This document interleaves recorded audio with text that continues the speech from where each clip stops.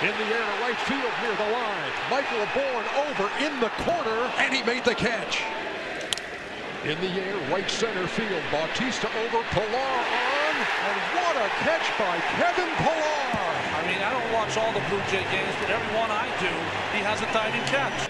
He's getting on more and more screens as he rifles that to short and look at Tulowitzki. My goodness, what a play. Well, look how quick he gets up to his feet and look at the strength of his arm. Up toward third. Bare hand Donaldson. Great pick. Encarnacion. Toward the gap in right center field. Adam Jones with a long run and makes the play.